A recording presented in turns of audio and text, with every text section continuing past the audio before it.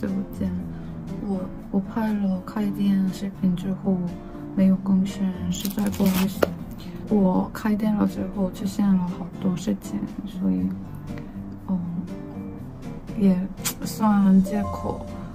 嗯，我每天睡了两三个小时，就是拍了视频之后基本上没有没有做兼职的时间，所以一直没有更新，实在不好意思。我以后尽量努力，快点更新吧。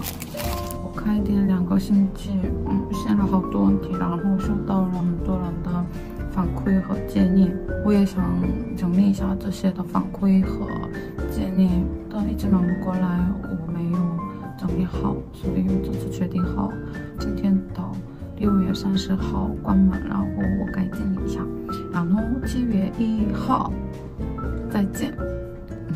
昨天已经通知过，但是有的人不知道白白跑过来，所以这次拍视频了。然后我今天终于能，哎，能看你们给我的信，很多人这次过来，真的很感谢这很多人过来支持我。觉得我的产品的味道也当然需要改进，但是这次出现的问题，呃，包括产品还是我毕竟是第一次创业嘛，所以没有经验，所以出现另外的好多问题，所以 我虽然只两个星期，但学习到了好多好多东西，所以我这段时间在整理。啊，本来后天我的弟弟过来帮我忙，哦，他会来的，然后我带他。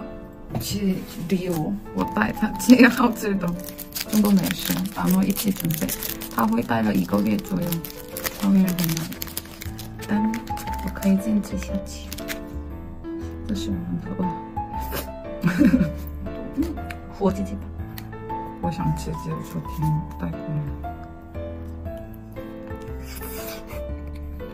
我 们产品的火鸡鸡排烤肉的话，加料的是比较好吃，但是其他的品牌还是一样，加味好像是龙家脆的那种，可以好吃。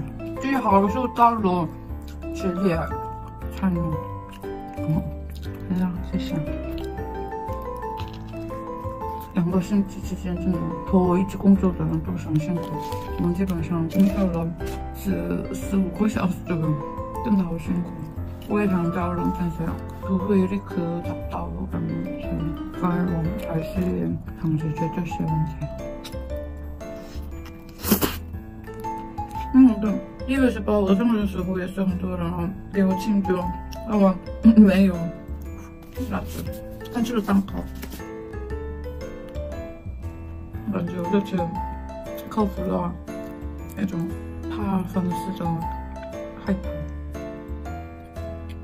我努力，以后以后也成了更好的自己，我们可以一起成长，大家加油！谢谢，我弟弟来了，一起再见。